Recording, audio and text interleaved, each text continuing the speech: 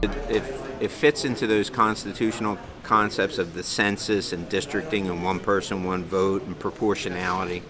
Second, it has to do with geography, all the social sciences, geography, demography, population, um, interest groups. Um, but it also is value based, right? It has to do with concentration and minority representation and contiguity.